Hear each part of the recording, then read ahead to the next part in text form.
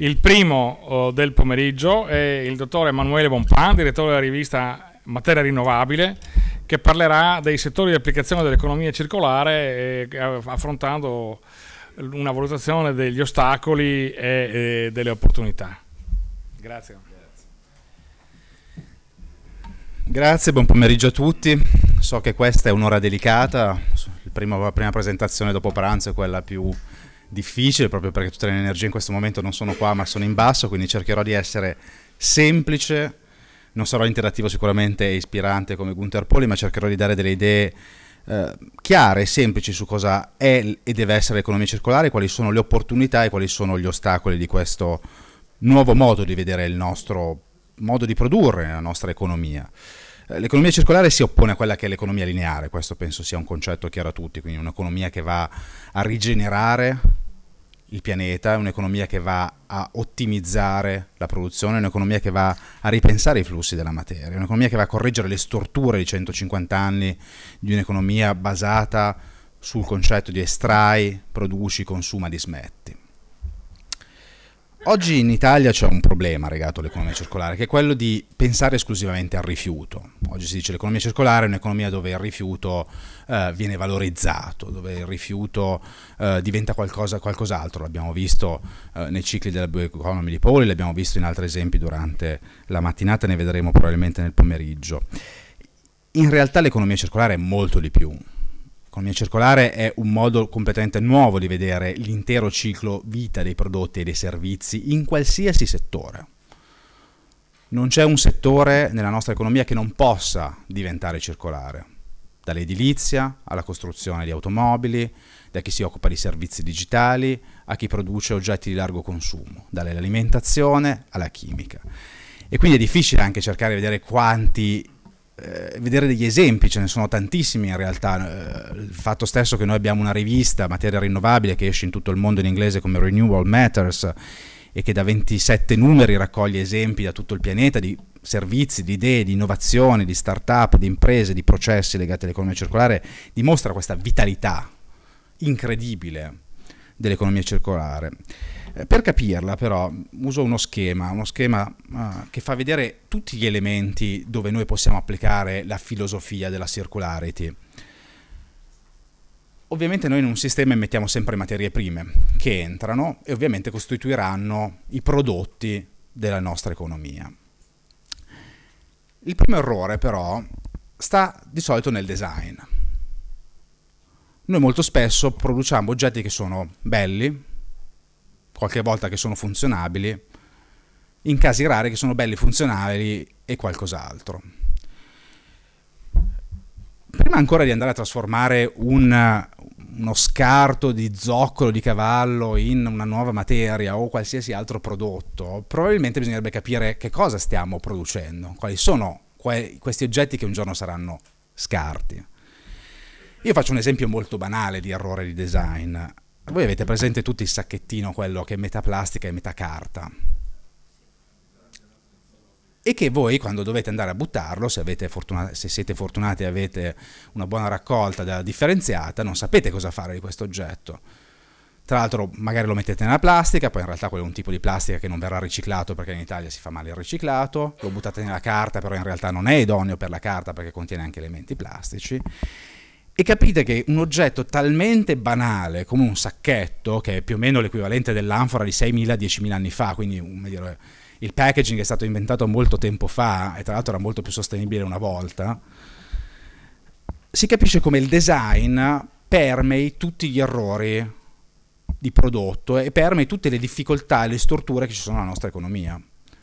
Se noi avessimo disegnato un, un sistema energetico contando veramente gli impatti esternalità negative, non avremmo mai usato il petrolio, se non in alcuni casi limitati, probabilmente l'avremmo usato per fare la plastica. L'avremmo usato per alcuni trasporti limitati dove è difficile sostituirlo. L'idrogeno potrà un giorno sostituire il petrolio in aviazione, probabilmente. Ma il ripensare gli oggetti fin dalla loro creazione è il primo passo fondamentale dell'economia circolare.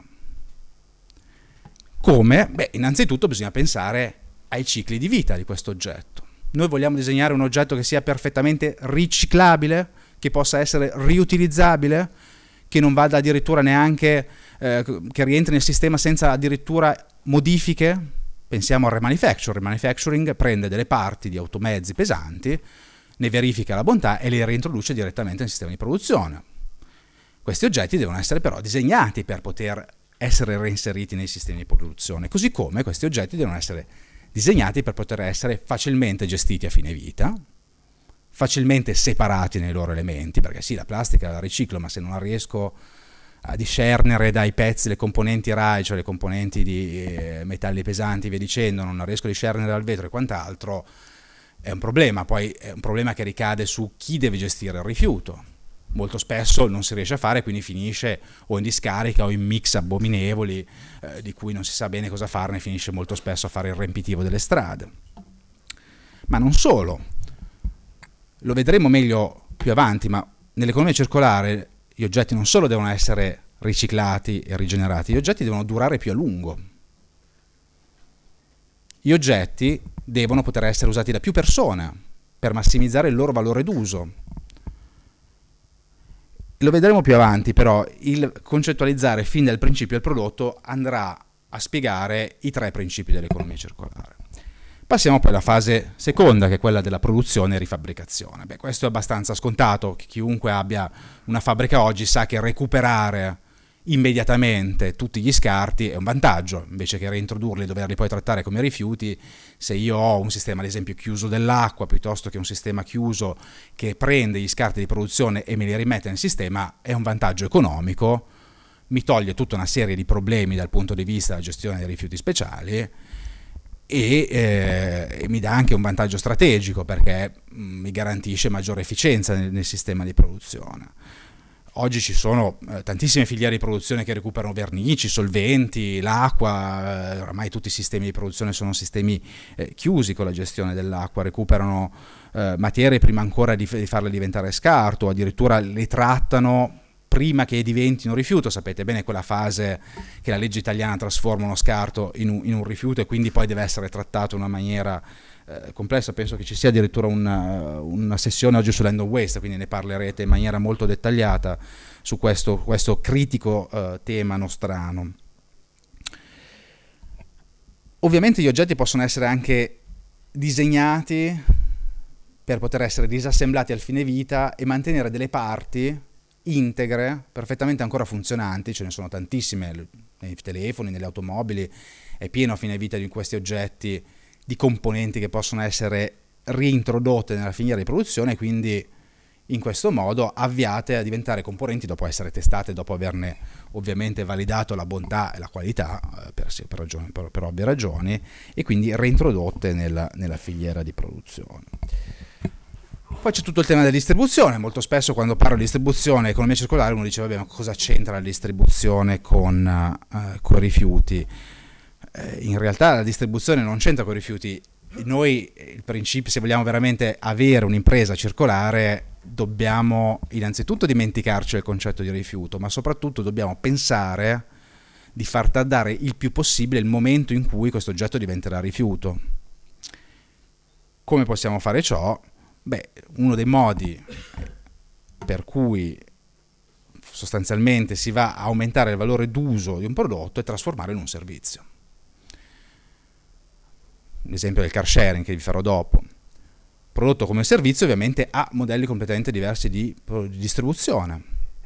Ma non solo, vi faccio un altro esempio senza entrare nel prodotto come servizio. Se io sono una grossa società che produce indumenti e ho interesse a fine vita a recuperare il cotone perché ho un'infrastruttura industriale che mi permette di disassemblare queste magliette, ci sono grosse società che lo fanno già oggi, Patagonia e H&M, riutilizzare i vari tessuti, i vari filamenti e produrre nuovi oggetti. Ora capite bene che per garantirvi questa filiera di approvvigionamento voi avete bisogno di un nuovo sistema di distribuzione che non solo venda, ma che sia anche in grado di raccogliere gli oggetti che voi avete venduto e che potrete recuperare un giorno come materia prima seconda. Un altro elemento ovviamente è il modo di consumo i modi d'uso e di riparazione. Dicevamo, estendere il più possibile la vita di un prodotto diventa fondamentale anche offrire ai clienti delle strategie per poter allungare la vita del prodotto. Infine la raccolta. La raccolta è un momento critico nell'economia circolare. Di invenzioni eh, incredibili che prendono scarti come ad esempio la buccia delle arance piuttosto che la pulla del riso, oggi ce ne sono una miriade. Io ho un'intera cartella sulla rivista eh, che raccolgo tutti questi casi di start-up, di progetti di ricerca, di eh, innovazione anche di grandi aziende che sono brillanti, che sono belle da raccontare, quindi per noi giornalisti importanti, utili, è interessante avere qualcosa di fresco, qualcosa di veramente innovativo che cattura l'attenzione da raccontare. Però c'è un grosso problema molto spesso, il tema della logistica. La logistica insieme alle tematiche legislative è uno dei principali problemi dell'economia circolare. Chi gestisce i rifiuti lo sa bene si sa che è complessa la gestione del vetro, della plastica, della, de, de, de, dei rifiuti municipali, che sono dire, materie prime che chiunque ha in casa. Se voi dovete invece organizzare dei modelli, dei sistemi di raccolta di materiali che sì sono fantastici, ad esempio prendo di nuovo la buccia delle perché è un prodotto esistente che viene fatto tra l'altro da una startup italiana, capite che la logistica diventa più complessa, diventa costosa, quali sono i centri dove si producono questi scarti? Quanti ne producono? Qual è la scala? Qual è l'economicità di avere una produzione di un tessuto proveniente da bucce d'arancia che è un bene scarso, che è un bene non sempre disponibile?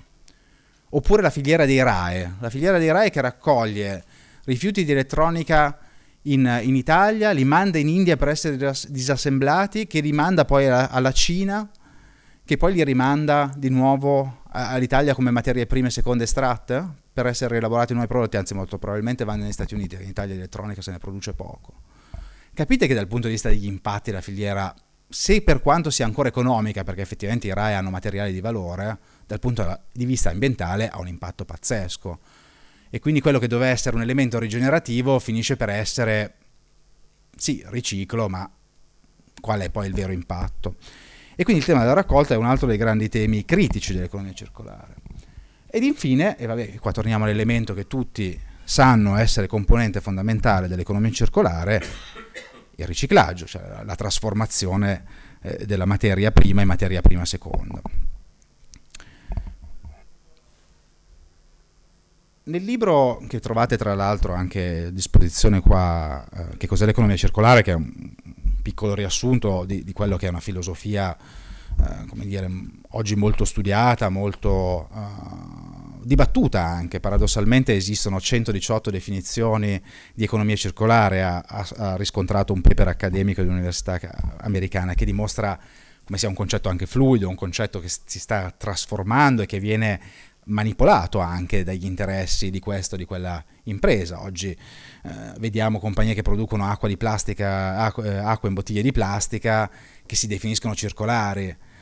Capite bene che un bene come, adesso non so se ci sono produttori di acqua in bottiglia, ma capite bene che un'acqua, eh, una bottiglia di plastica contenente acqua è un bene superfluo, è un bene completamente sostituibile, quindi non potrà mai essere una, un elemento, un, un prodotto circolare. E quindi capite che è, un, che è, un, concetto fluido e per cercare un pochino di, di, sistematizzarlo, prendendo appunto studi che esistono nel settore, l'ho diviso, l'ho caratterizzato con tre principi. Il primo principio appunto è quello della riduzione dello scarto della trasformazione in materia prima-seconda. Lo diceva benissimo Poli prima, la cosa più saggia è ridurre ovviamente qualcosa che possa diventare scarto ancora prima di poterlo trasformare e secondo è quello che, si, che, abbiamo commentato fino adesso, appunto la realizzazione di eh, nuovi materiali derivati dagli scarti. Un esempio fantastico in Italia lo costituisce il pneumatico, la filiera del pneumatico è probabilmente una delle più eh, brillanti nel nostro paese, eh, per la capacità di organizzazione, quindi la, la, parte di logistica, per l'innovazione nel design dei nuovi prodotti. Oggi col, col, polverino del pneumatico si fanno tantissimi oggetti, dagli isolanti per le pareti, ai tappetini per i parchi giochi, a eh, tutta una serie di componentistica per l'arredamento, per le infrastrutture, si fa l'asfalto, quello che assorbe, assorbe i suoi rumori, quindi con un, anche impatti positivi sulla salute delle persone, e si sta lavorando sulla rivulcanizzazione, cioè sulla trasformazione della gomma in, di nuovo in pneumatico a fine vita. E questo dimostra chiaramente eh, come dire, il, il, ciclo perfetto di una materia abbondante che può essere facilmente riciclata e che può eh, essere, diventare nuovamente oggetti di, di, di, di, valore con caratteristiche uniche che solo la gomma ha e con un mercato paradossalmente per il, eh, per il pneumatico a fine vita che ha maggiore domanda quasi di quanta è l'offerta, vuol dire che c'è più gente che vuole il polverino pneumatico fuori uso di quanti pneumatici attualmente sono impiegati. E che è interessante perché ci, eh, ci fa vedere una, uno scenario futuro che probabilmente oggi non è il caso, ma che lo vedremo indubbiamente nel comparto della bioeconomia, cioè quella parte dell'economia circolare che concerne tutto l'organico, ovvero tante di quelle cose che ha parlato Gunther Poli, per cui dagli scarti agricoli si possono fare materiali, si possono fare biogas, si può fare biochar, quindi paradossalmente ci sarà una domanda importante di questi scarti e che andrà sul mercato a competersi appunto ciò che è l'offerta, vincerà l'energia, vinceranno i gas, vinceranno i biomateriali o cosa vincerà? Ovviamente sempre nel rispetto del primo principio di tutti i biomateriali, che la sicurezza alimentare deve essere il primo diritto garantito, quindi non vendiamo eh, gli scarti alimentari che possono essere usati per i fertilizzanti per fare biomateriali. Ovviamente si è parlato dell'upcycle, non, non, aggiungo nulla, ma mm, questo è un esempio carino che mi piace citare, che tra l'altro è una startup uh, veneta uh, trentina che ha mm, creato dei depuratori di acqua per l'acqua semplicemente impiegando tappi di bottiglia. Quindi prende un oggetto che è assolutamente quasi privo di valore, senza alcuna trasformazione, quindi senza alcun input di uh, energia o acqua, sono stati immessi in questo sistema e funzionano come carrier per i batteri che si mangiano poi il, gli elementi impuri dell'acqua. Quindi questo è un esempio dire, da, da, manuale direi eh, di, di, upcycle, quindi di prendere uno scarto e di trasformarlo in qualcosa che ha un valore ancora superiore senza addirittura la trasformazione, quindi senza proprio qualsiasi tipo di, di, di input né chimico né fisico né energetico.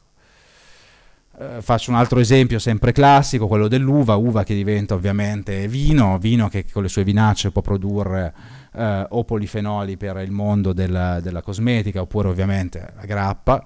E dagli scarti delle vinacce esauste addirittura oggi si possono produrre tessuti, tessuti che a loro volta eh, possono diventare compost e quindi diventare nutri- nutrimento per la vigna. Però voi avete avuto Gunther Pauli stamattina, quindi sinceramente questo esempio impallidisce di fronte alla sua visione ipercomplessa degli elementi organici e nutrienti della terra. Per trattare queste, questo pletora di, eh, di, materie a fine vita ovviamente avremo bisogno di nuove strutture, di strutture che saranno sempre più eh, localizzate, quindi si passerà dai grandi centri di raccolta degli scarti a invece centri di medie dimensioni localizzati sul territorio in grado di trattare tutti eh, gli elementi, di fatto sono quelli che sono i nostri centri di raccolta oggi, eh, semplicemente organizzati in maniera più, più efficiente, più integrata, dove eh, alcuni elementi possono essere direttamente trattati, quindi avere già una bioraffineria integrata per gli oli di frittura che si raccolgono dai ristoranti e dovrebbero essere raccolti anche dalle case dei cittadini, che abbiano eh, dei sistemi di compostaggio integrati, che magari abbiano al loro interno anche delle serre che raccolgono direttamente questi elementi nutrienti e che quindi possono essere produttivi. E che abbiano anche un aspetto interessante. Noi oggi il rifiuto, eh, come dire, mm, eh, mi piaceva molto la slide dei pannolini con la di Poli perché abbiamo questa visione agghiacciante del, degli scarti. Noi siamo eh, disgustati da, da, da, dai nostri reflui, siamo disgustati dalla spazzatura delle discariche. In realtà se ci pensate, eh, le deiezioni umane, adesso non uso più la parolaccia che ho usato prima, però le deiezioni umane sono un sistema perfetto, cioè hanno già una logistica integrata. Se pensate, le nostre fognature sono sistemi che convogliano eh, materia organica che può diventare poi o biogas o addirittura compost, che hanno già un'infrastruttura di suo, quindi i pannolini va bene raccogliere, ma addirittura ricordiamoci possiamo raccogliere anche quella di noi adulti, senza necessariamente l'uso dei pannolini, con un'infrastruttura, mi ripeto, che già esiste ed è perfetta e che è stata creata dai romani duemila anni fa. E quindi è importante lavorare anche sull'immagine. È importante lavorare su un concetto che un rifiuto non è più un rifiuto, cioè qualcosa che porto via da me, qualcosa che tengo verso di me, qualcosa che ha valore, è qualcosa che è una bellezza. Questo qua è un centro di trattamento rifiuti a Parigi, cioè, capite che scambierei volentieri la facciata di casa mia per questo posto. E quindi è importante dare un, uh, una nuova immagine de, dei prodotti a fine vita, una nuova immagine dei rifiuti, far veramente capire questo. Le favole sicuramente aiutano con i più piccoli a far capire il valore di questo. E noi nella rivista lo facciamo perché la rivista ha puntato molto sul design. Noi trattiamo effettivamente rifiuti, scarti, e, e, e però abbiamo voluto impostare un design grafico bello, accattivante, perché volevamo veramente far capire a chiunque che l'economia circolare ha un valore ed è sexy. Velocemente perché penso che il tempo stia correndo, abbiamo ancora quanto? 10 minuti? Vado veloce sul tema invece della massimizzazione del valore, d'uso della materia, l'esempio uh, canonico è quello dell'automobile. L'automobile è un oggetto che giace inutilizzato per il 95% del suo tempo vita, 90-95 a seconda della persona, e che significa che è un insieme di materiali, alcuni anche molto preziosi. Ricordatevi che per fare un'automobile si immette nell'atmosfera metà della CO2 di tutto il suo arco di vita.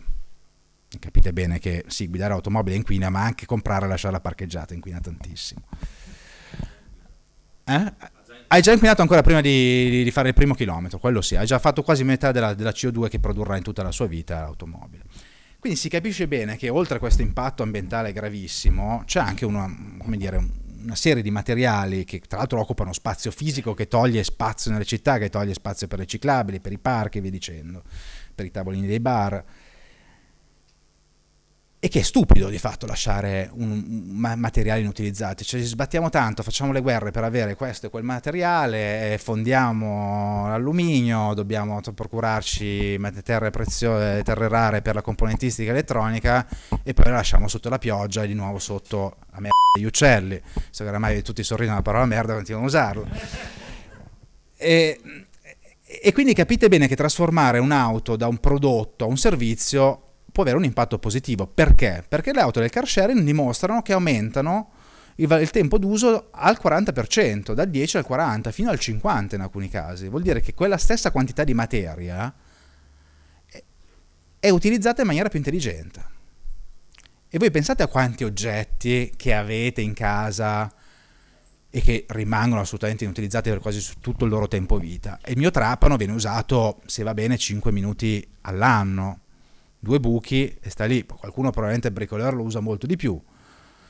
Però ha senso che una persona che non è un bricoleur e probabilmente anche un incapace a fare i buchi si tenga un trapano, un oggetto, per quanto anche economico, eh, che però non viene impiegato. Allora, avrebbe più senso se una società mi offrisse il buco come servizio, cioè venisse una persona a casa mia, mi fa il buco, io gli pago quello che deve essere pagato, lo fa con un trapano molto più efficiente.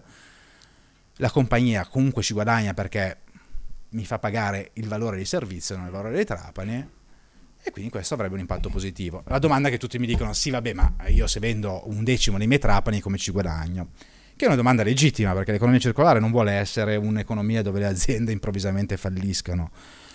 In alcuni casi però la valutazione può essere fatta se tu offri una serie di servizi tali per cui tu vai a compensare o in alcuni casi addirittura aumentare i tuoi introiti, puoi adottare un modello di business di questo tipo lo fa Philips, lo fanno le principali case di produzione di pneumatici. Daimler che propone il car sharing non è Legambiente. Il primo l'aveva proposto Legambiente, adesso sono le grosse compagnie dell'automotive che spingono tra l'altro per avere il car leasing e lo spingono non perché sono bravi, ma perché hanno capito che è un modello anche vantaggioso economicamente. Perché tu ai servizi ci aggiungi la performance. Nei pneumatici come si fa? Io ti do in affitto il pneumatico, ok? Io ti do tutta una serie di sensori che ti fanno, uh, ti misurano esattamente il comp- tuo comportamento da autista.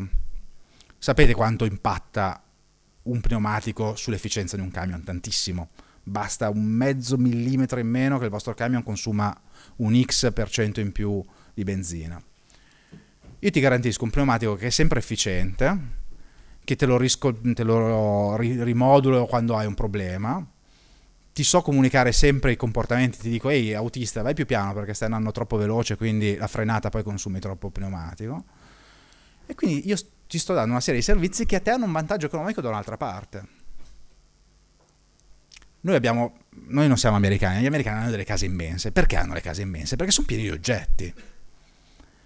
Quanto potrebbe risparmiare un americano se avesse molti meno oggetti? Tantissimo. Pensate quanto costano le case a Manhattan e sono mediamente grosse dimensioni capite che un prodotto come servizio, un'azienda se lo fa in maniera intelligente, può offrire un vantaggio per il cliente e può offrire un servizio che sia vantaggioso economicamente anche per se stessa. Questo ovviamente rimane limitato ai casi dove ciò è applicabile.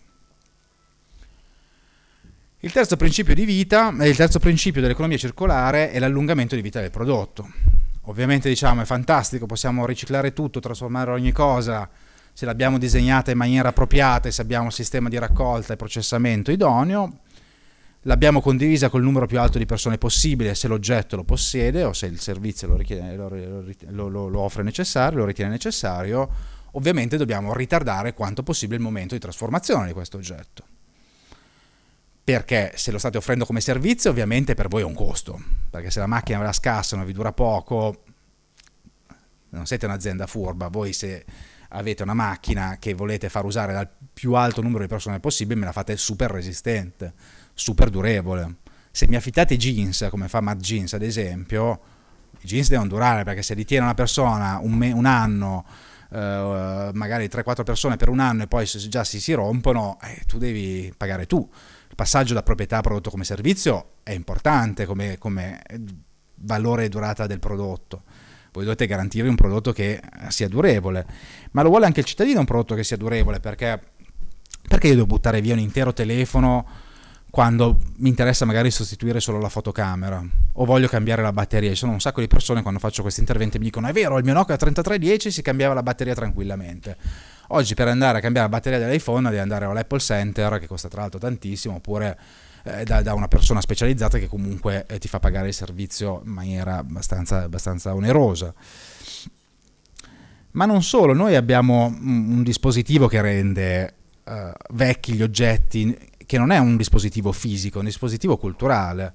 E noi l'abbiamo inventato all'incirca fine Settecento, che è la moda quando improvvisamente si volevano vendere più cappellini abbiamo cominciato a creare le stagioni dei cappellini, prima vanno i cappellini gialli, poi quelli grandi, poi quelli piccoli.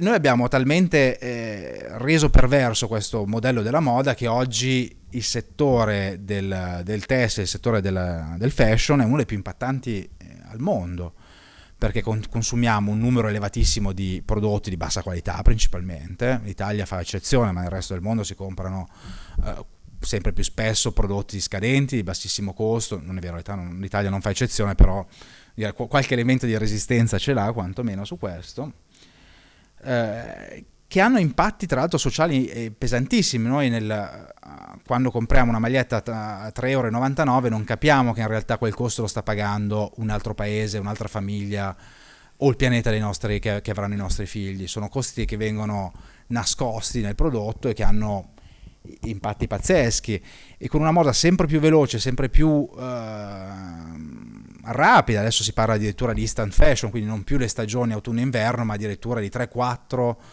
eh, pubblicazioni da parte di una, di una, di una fashion house durante, durante un, una stagione, semplicemente per uh, creare nuove linee, nuovi, nuovi prodotti da, da far comprare. E quindi capite che ad esempio andare a operare come sta facendo Patagonia, che è un famoso brand dell'outdoor, eh, strategie dove io posso restituirti il prodotto e tu stessa d'azienda me lo ripari, tra l'altro Patagonia lo fa in livello industriale, non lo fa con il sarto, ha un'intera linea di produzione dedicata al repair, può diventare una strategia innanzitutto di fidelizzazione. E gente disposta a pagare 400 euro un cappotto di Patagonia anche perché sa che se si rompe te lo sistemano loro non il sarto, che non, sì, magari c'è sarto bravo, però capi tecnici è sempre molto complicato. E quindi diventa anche un vantaggio economico, perché Patagonia, come dire, può permettersi un premium sul prezzo del, del proprio prodotto. Ha un impatto positivo perché ovviamente questo prodotto non va a finire o in qualche eh, filiera stramba dei vestiti usati che vanno poi venduti a basso costo in Africa invece che usati come charities, purtroppo è una, una storia che io stesso ho dovuto scrivere come giornalista e allo stesso tempo non finiscono in discarica, perché ancora tantissimi vestiti oggi finiscono in discarica e tra l'altro tanti di questi vestiti sono fatti di fibre plastiche, sono, non sono cotone, sono anche inquinanti invece potrebbero essere eh, fa- facilmente trattati. E quindi anche tutto il tema del, del fine vita, e questo assalto, è, è, un, è un elemento importante. Accenture e compagnie di consulting eh, continuano col loro lavoro per dimostrare come questi modelli di business possono effettivamente, in alcuni settori e in alcuni casi, essere impiegati. Quali sono i vantaggi economici per un'azienda? Perché qua non si parla solo di salvare l'ambiente, anzi si parla proprio di garantire una strategia alternativa o aggiuntiva, complementare. Tu puoi continuare ad avere prodotti che vendi normalmente puoi avere una linea premium che vendi come servizio, quindi eh, sta un pochino nelle, nell'economics capire come eh, si può orientare nuovi modelli di business. Uh, questa è una domanda sbagliata. L'ultima cosa che dico perché ho finito veramente il tempo, un elemento principale per attivare processi di economia circolare è quello del procurement. La città di Milano ha firmato ieri un accordo con la MacArthur Foundation per stimolare processi di questo tipo. Questo è un modello virtuoso innanzitutto per accelerare i processi di circularity nelle aziende.